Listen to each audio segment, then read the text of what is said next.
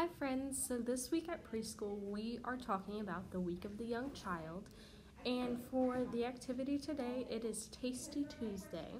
So, I am going to give a demonstration of what we are kind of doing in class. But in order to reenact this, we are making a healthy snack. So, you may want to go and get an apple and some of your favorite fruits.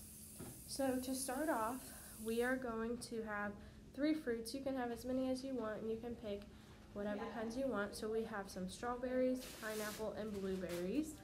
And then we are going to have an apple kind of cut in a circle on our plate. So for our math activity, you are going to roll a dice. So I rolled the dice and it lands on four. And then yours, you can choose any of these that you want to pick four of. So I love strawberries.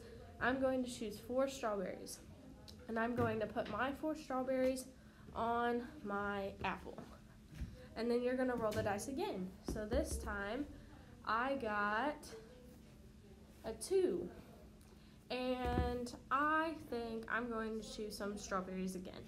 So I have one, two more strawberries. And we are going to roll one more time, so a total of three times.